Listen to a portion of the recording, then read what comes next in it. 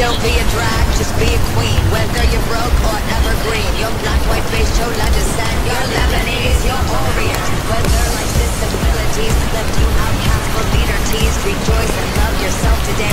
Cause baby, you were born this way.